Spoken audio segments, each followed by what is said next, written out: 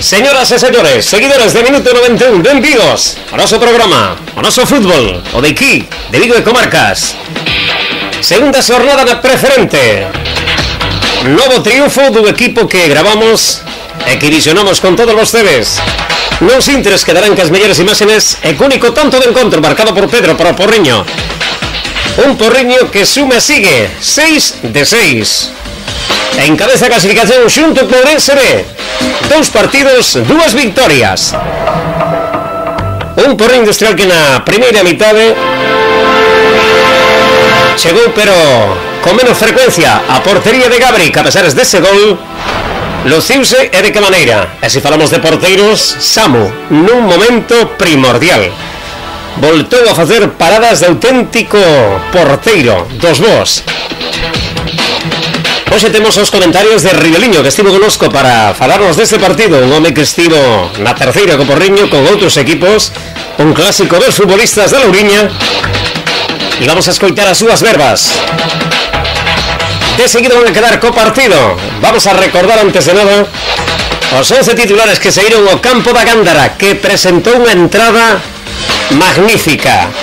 A grada chea. É increíble a afición que ten o Caselas. E iso que non chegan aos 150 socios, o xeran as festas dos callos, pola mañán os novos membros da directiva moita xuventude, tamén tiñen un stand para que colaborasen os veciños tanto de Salceda como dos povos limítrofes. Pois o dito, van a quedarse a co partido Non se perdan as verbas do adestrador do Porriño unha vez máis Mariño Que foi castigado con seis encontros por ese problema que tivo co colexiado no pasado fin de semana en Lourambal pero falou do céspede de Lourambal falou dos varios días que teñen que adestrar os xogadores do Porriño non estamos acostumbrados a eso eu dito Mariño Ribeliño os adestradores todo aquí e de seguido como sempre entre imaxen e imaxen as nosas firmas comerciais que fan posible que nos esteamos nos campos de fútbol. O próximo domingo estaremos en San Campio, Pontellas, Caselas, Novo Dermi. E así sucesivamente, será a terceira xornada de Liga. De momento, Porriño suma, con minuto 91, dúas victorias. 2-0 o Pontellas, hoxe 0-1 o Caselas. De momento, líder.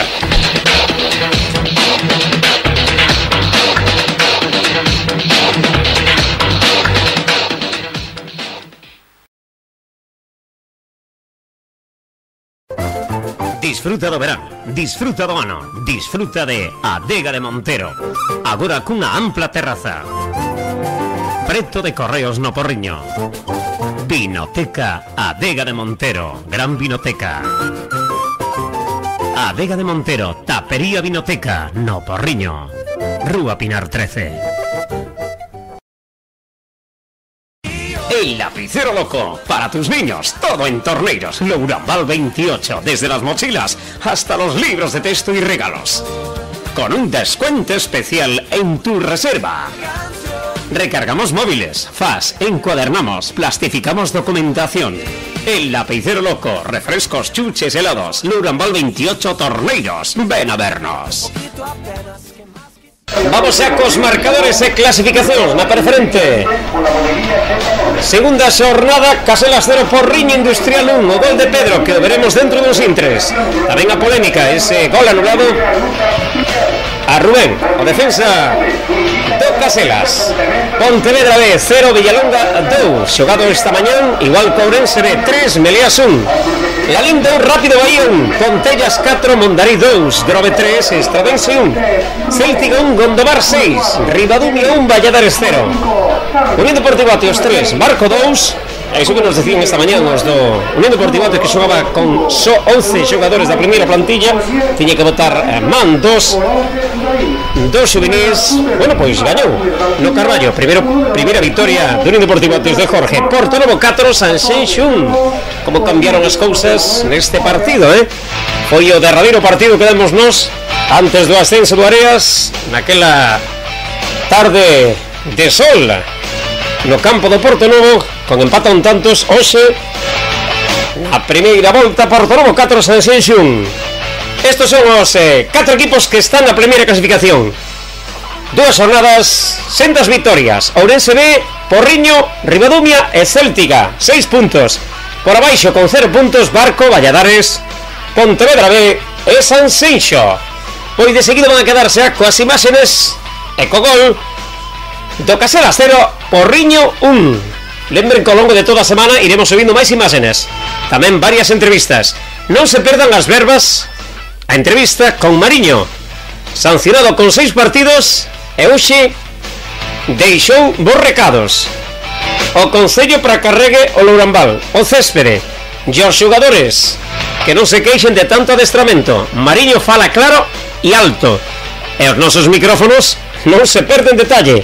Farolle Nel Fernández, hoxe cos coñecementos dun xogador do Porriño que vai estar conosco durante os próximos partidos nesta tempada Ribeliño. Nada máis, saludos, disfruten das imaxenes e, como sempre, as nosas firmas comerciais que fan posible Minuto 91 Nada máis. Chega o partido Caselas por Reño Industrial Denda Gándara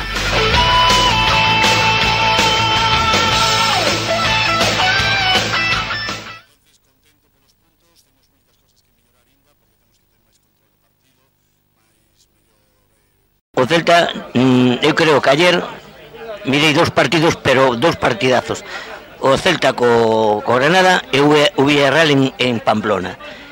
Eu non sei cal, cal, cal dos dous xogou máis o fútbol, pero foron dos equipos que xogaron o fútbol, practicaron o fútbol, xogaban o fútbol. O Villarreal en ten un xogador o Villarreal que pudo estar no Celta, e non sei por que viu, eh, Jonathan Pereira, que eh, del saliron os dous primeiros goles, eu non sei o Celta que non sei por que trouxe este rapaz, porque é un chaval que a mí me encanta. Home, será porque é pequeno? Eu tamén era pequeno, pero sabía como se tiña que xogar. Home que saído Santa María de Cabral. Sí, señor, de Santa María de Cabral. Que se está facendo con un montón de xogadores de aquí da zona. Eh? Oye, catro xogadores do Unión Deportivo Atios dos dos infantiles, entre eles o gran porteiro Sergio, un rapaz que ten un futuro impresionante. Pois aí temos de novo amarrando Samu, eh? está en un gran momento, eh? Eu creo que este portero, xa falei antes, creo que este chaval, home, poderá votar todo o ano industrial, pero creo que vai ter salida a outro gran equipo. Eu, a... Pois aí temos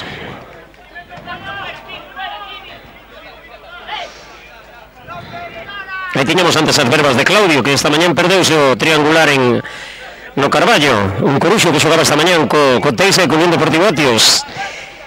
Marcou un golazo Teisquerelo. Mañán beso o golazo que marcou. Aí temos... Bueno, pois unha xogada con moita polémica, eh? Dende aquí o que acabamos de, de ver. Non podemos decir se é ou non penalti. Nos aquí somente eh, invitamos a ver as nosas imaxes. Aí tiñamos antes as verbas de Claudio, que esta mañán perdeuse o triangular en no Carballo. Un coruxo que xogaba esta mañán co, co Teixa e co Unión Deportivo Atios. Marcou un golazo Teisquerelo. Mañán beso o golazo que marcou. Aí temos...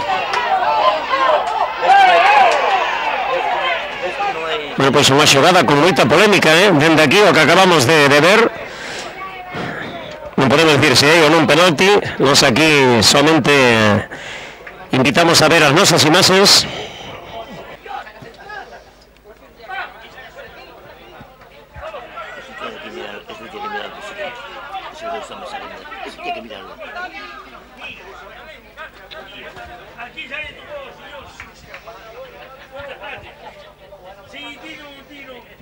Bueno, pues pues, vendo os, eh, os campos de fútbol de, da preferente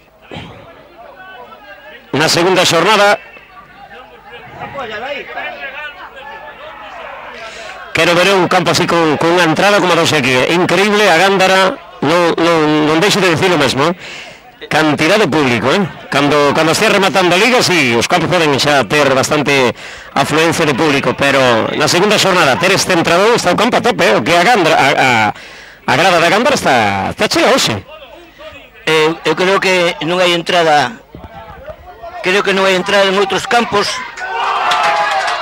gol, gol acaba de marcar o Porriño Industrial marcou o número 11 Pedro.